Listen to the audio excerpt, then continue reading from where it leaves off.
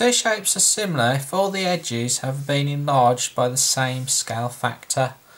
So basically similar shapes are shapes which have been enlarged.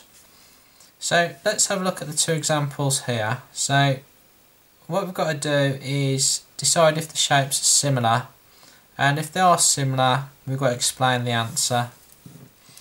So in example 1 then we've got two rectangles an 8 by 3 rectangle and a 40 by 15. So if we divide the base lengths of the rectangles we get 40 divided by 8 which gives us 5 so the base lengths have been enlarged by a scale factor times 5 and let's do the same for the widths of the rectangle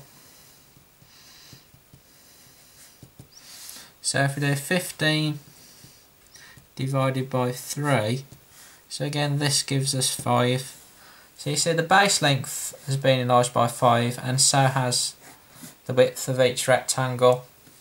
So since these scale factors are the same then these would be similar shapes. So let's move on to example 2. So again we've got to do the same again. So we've got to decide if these two triangles are similar and again explain the answer why. So we've got a 3 by 4 by 5 triangle and a 4 by 6 by 7.5. Okay, so let's first of all divide the bottom edges of each triangle. So that'd be 7.5 divided by 5. So it's a little bit tricky this one, so let's use our calculator.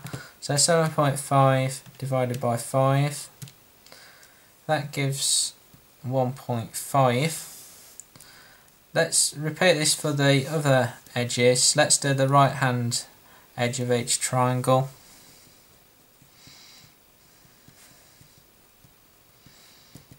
So for this time we do 6 divided by 4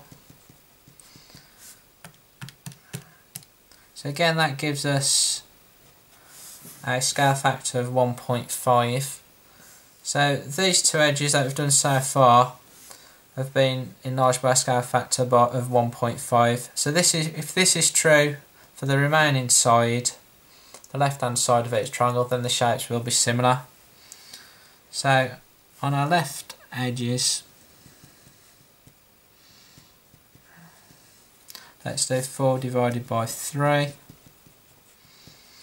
So if we go 4 divided by 3, uh, that gives you 1.3 recurring.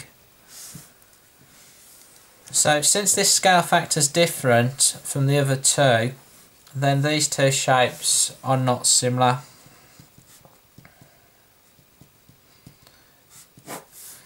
If they're going to be similar then all the scale factors must be the same for all the corresponding edges.